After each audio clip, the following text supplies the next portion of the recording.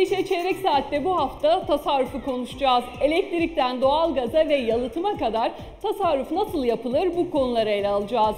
Ama programa önce çocuklarla başlayacağız. Çünkü tasarruf kültürü küçük yaşlarda kazanılıyor. Bakalım çocuklar tasarruf hakkında neler biliyor?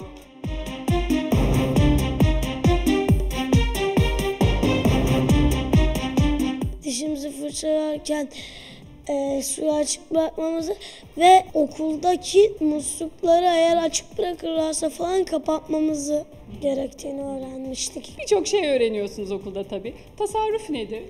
Tasarruf m, bizim e, elektriğimizi azaltmamız, e, elektriği çok kullanmamız, suyumuzu çok kullanmamamız, para biriktirmemiz vesaire böyle şeylere biz tasarruf diyoruz. İhtiyacı olan insanlara para bağışlayabiliriz. E, ha- hayır kurumuna hayır kurumlarına para bağışlayabiliriz.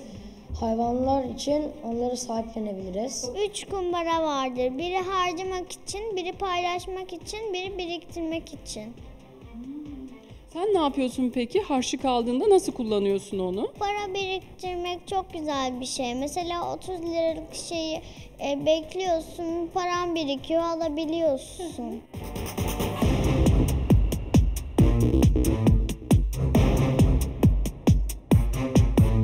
Tasarruf kültürü küçük yaşlardan itibaren kazanılıyor. Çocuklara nasıl anlatıyorsunuz tasarrufu? Bizim bununla ilgili uyguladığımız bir programımız var. Finansal okuryazarlık. Finansal okuryazarlıktaki amaç şu. Para kavramını küçük yaşlardan itibaren doğru olarak öğretmek. Bununla ilgili 3 kumbara yöntemini uyguluyoruz. Çocukların 3 tane kumbarası var.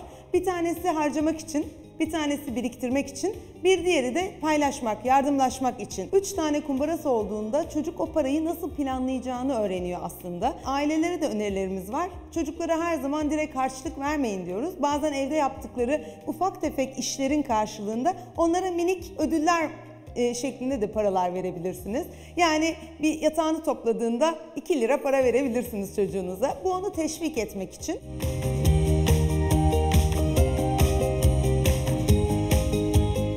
Kredi kartıyla alışverişin sonsuz bir kaynak olmadığında çocukların öğrenmesi lazım. Ailelerin de yaşadığı en büyük sıkıntılardan biri de param yok dediğinde çocuk kredi kartını al diyor. Kredi kartının çünkü sınırsız bir kaynak olduğunu düşünüyor. Oysa ki kredi kartının önceden biriktirilmiş bankadaki bir para olduğunu çocuklara anlatmak lazım.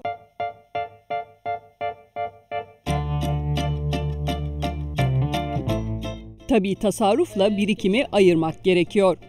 Tasarruf deyince genelde böyle kısıtlama olarak düşülüyor. Hayır, bugün itibariyle bunu bırakalım.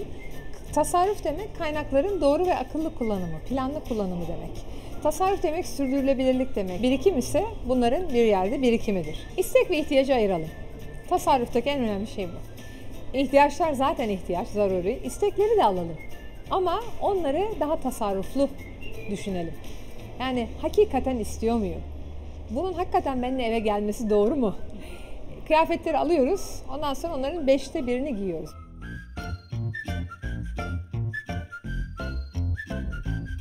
Peki tasarruf etmek nasıl mümkün?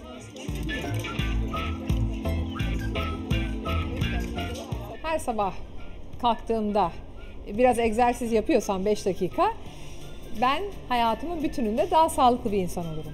Bu da ben eğer her gün bir 10 lira, 20 lira, 50 lira e, bir kenara koyuyorsam bir paraya sahip insan olurum.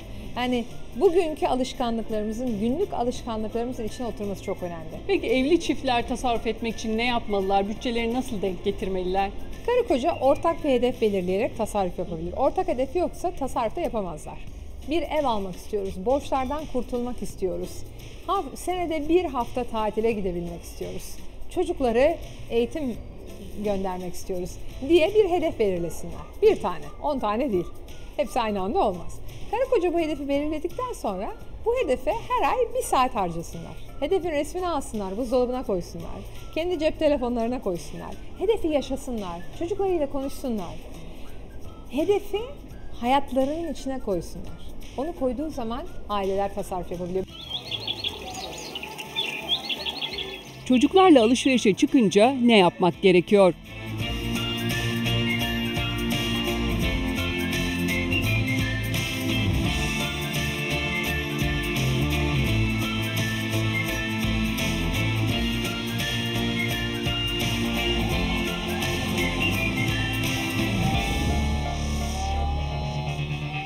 Bir, planlı olmak. Çocuğa şunu demek, Planımızda yok Ahmet, planımızda yok Sibel. Alamayız. Paramız yok değil, planımızda yok. Oturup çocukla plan yapın. Plan derken de şunu kastediyorum. Yazılı çizili. Bu ay bunu alacağız. Ve bu plan içerisinde bir oyuncak günü belirleyin. Örneğin ayın ilk perşembesi oyuncak günü. Örneğin ayın son salısı oyuncak günü diyebilirim. Ama burada plan önemli, rakam konulması önemli, onun planlanması ve onun bir yerde yazılı olarak duruyor olması ve ona doğru gitmek. İki, çocuk kendi de biriktirsin oyuncağı için. Çocuğa harçlık verin zaten 7 yaş sonrası harçlık vermeye başlayın. Üçüncü olarak da çocuklar da anne babanın da bunu yaptığını görsün. Şimdi çocuğa oyuncak alma diyorsunuz ama gidip kendiniz 10 tane ayakkabı alıyorsunuz. Olmaz.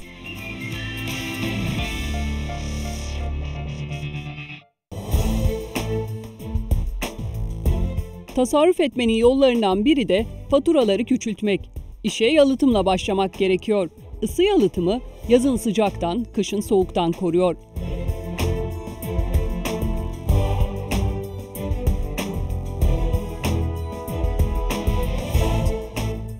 İstanbul'un Anadolu yakasındayız. Caddebostan'da burada birçok bina inşa ediliyor ve yeni yapılan binalarda ısı yalıtımı yapılması bir zorunluluk.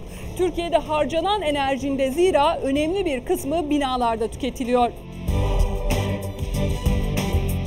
Isı yalıtımı binalarda ortalama %50 enerji tasarrufu sağlıyor.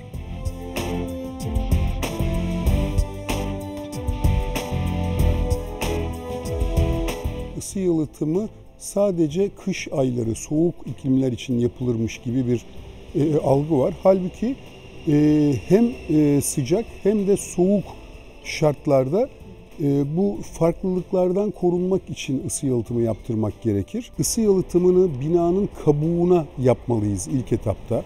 Kabuğu dediğimizde de aklımıza dış duvarlar, döşemeye oturan e, zeminler, çatı ve tabii ki pencereler gelmeli binanın kabuğu. Çünkü ısı buralardan transfer oluyor. Dış cephe yalıtımında tabii ki birçok farklı malzeme de kullanılıyor. Ee, neye göre dikkat etmeli, nasıl yaptırmalı? Tabii ki bir doğru orantı vardır.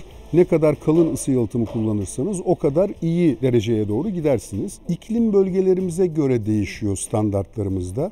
Ülkemizde 7 coğrafi bölge var ama iklim bölgelerimiz biraz ona göre daha farklılık gösterebiliyor. Tabii ki ılıman iklimlerde daha ortalama kalınlıklar, daha karasal iklimlerde de daha kalın ısı yalıtım malzemeleri kullanmamız gerekir.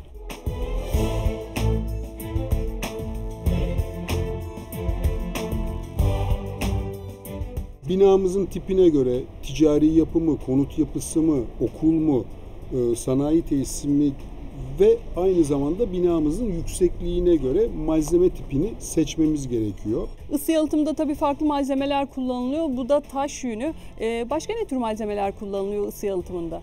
Yangın yönetmeliğimiz şunu işaret ediyor. Isı yalıtım malzemesi olarak kabul edilen malzemeleri kullanın bir defa diyor. Bunlar işte e, mineral yünler, cam yünü, taş yünü, plastik köpükler bu malzemeleri kullanın. Isı yalıtımında tabii ki bir maliyeti var. Yaptırdıktan ne kadar süre sonra kendisini amorti ediyor? Bina maliyetinin yüzde üçü dördü arasında komple yalıtımın maliyetidir. Standartlara uygun yaparsak geri dönüş süresi 3 yılda enerjiden elde ettiğimiz tasarrufla geri döner. Tabii biz eğer bunu standardın biraz üstünde yaparsak yani C sınıfı değil de B, B artı A sınıfı yaparsak bu süreler kısalacaktır.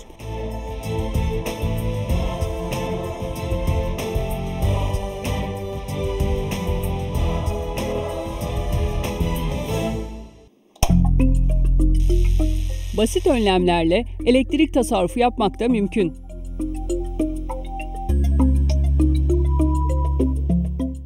Peki buzdolabı, bulaşık makinesi gibi ev aletlerini kullanırken nelere dikkat etmeliyiz? Nasıl enerji tasarrufu elde edebiliriz? İşte bunlara bakacağız. Mesela burada bir buzdolabı var. Baktığımızda duvara buraya yakın görüyoruz ama Burada gördüğümüz gibi olmamalı mesela. Buzdolabının duvarla arasında en az 15 santim gibi bir aralık olmalı. niçin peki? Çalışan elektrikli aksamları arkada. Ee, ve duvara ne kadar fazla yanaşırsa o kadar fazla ısınır ve kendini soğutmak için daha fazla enerji tüketmeye başlar. Onun için onun havalandırmasını sağlamamız lazım. İkinci bir şey söylemek istersek buzdolabını açtığımızda kapakların kenarında lastik bantlar var. Bunların yapışmasını sağlayacak önlemleri almamız lazım. Yani bunlar zamanla gevşeyebiliyor çünkü. Bunların iyi kapanmasını sağlamamız lazım. Gevşerse tabii oradan ısı kaybı olur. Isı kaybı oluyor. İçine koyacağımız yiyecek içecekleri çok sıcak koymamamız lazım. Belli bir oda sıcaklığına geldikten sonra soğutmaya aktarmamız lazım ki daha az enerji tüketsin. Bulaşık makinesine baktığımızda bulaşık makinesinden nasıl tasarruf edilebilir? Çok kirlilerle az kirlileri aynı anda yıkamamamız lazım. Enerji sınıfı arttıkça program sayısı da artıyor. Daha az kirlileri daha kısa sürede o programla yıkayarak enerji tasarrufuna katkıda bulunmuş oluyorsunuz. Bir de bunların tahliyelerinde bulaşık atıkları girerek oraları tıkayıp e, suyun deşarj olmasındaki fazla enerji harcamaya neden olan e, unsurlar olmaya başlıyor.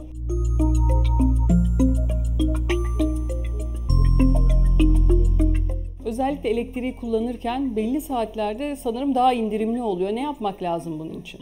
Öncelikle e, bağlı olduğumuz dağıtım şirketiyle bu tür bir sözleşme yapmamız gerekiyor. Yani 3 zamanlı elektrik tüketim sözleşmesi. Sabah 6'dan 17'ye kadar bir tarife, 17 ile 22 arası ayrı bir tarife, 22'den sabah 6'ya kadar üçüncü bir tarife ki bunun en ucuzu akşam 22'den e, 6'ya kadar olan tarife. Ev aletlerine baktığımızda peki elektrikli aletlerde en çok hangisi enerji harcıyor? Neye dikkat etmek lazım? A A+, A çift plus gibi çeşitli semboller bu aletlerin daha verimli olduğunu gösteren simgelerdir. Enerji verimliliği sıralaması D'den başlar. A'ya doğru geldiğinde daha verimlidir bu aletler. A bittikten sonra da A+, A çift plus, A3 plus diye yürüyor. Sonucunda etiketine baktığınız zaman gücü fazla olan cihazlar daha fazla enerji tüketirler. 2000 wattlık bir saç kurutma makinesi 1000 wattlık ütüden daha fazla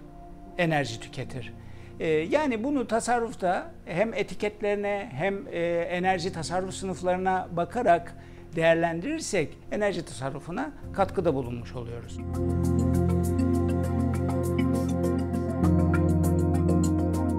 Aydınlatmada tasarruflu ampul kullanmak %80'lere varan oranda enerji kullanımını azaltıyor.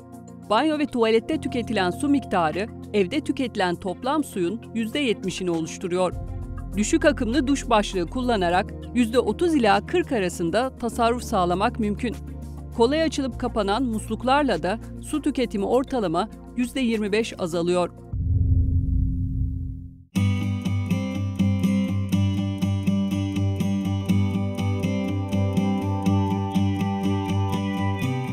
Kışa girerken enerji tasarrufu için doğalgaz kullanımı da önemli. Peki evde ısıtma giderimizden nasıl tasarruf sağlayabiliriz? Her şeyden önce eve uygun bir cihaz seçmek lazım. Ne evin ısıtma ihtiyacını karşılamayacak cihaz ne de ısıtma ihtiyacının çok üzerinde bir cihaz seçmemek lazım. Türkiye'de bir ERP regülasyonu yayınlandı. Artık Türkiye'de yoğuşmalı olmayan kombilerin üretimi ve ithalatı yasaklandı. Sadece firmalar bu eski teknoloji ürünleri stoklarında kaldığı kadar satıyorlar. Premix yanma teknolojisine sahip tam yoğuşmalı bir kombiyle klasik kombilere göre %25 tasarrufu teknolojiyle garanti altına alırlar.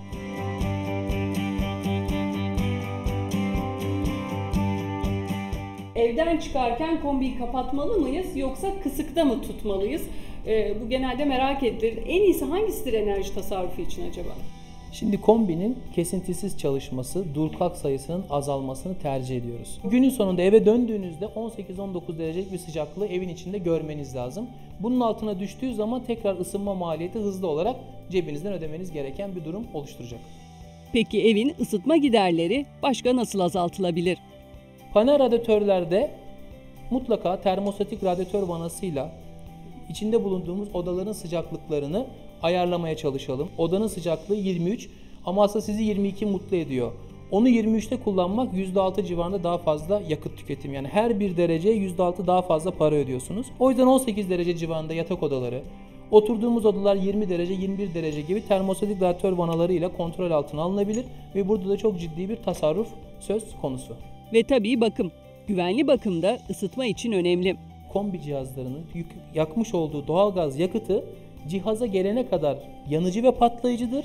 cihazdan yandıktan sonra bacasıyla dışarı atılan gaz da zehirleyicidir. O yüzden cihazın bakımlı olması, yetkili servis tarafından müdahale edilmesi başka hiçbir elektronik eşyada olmadığı kadar önemli.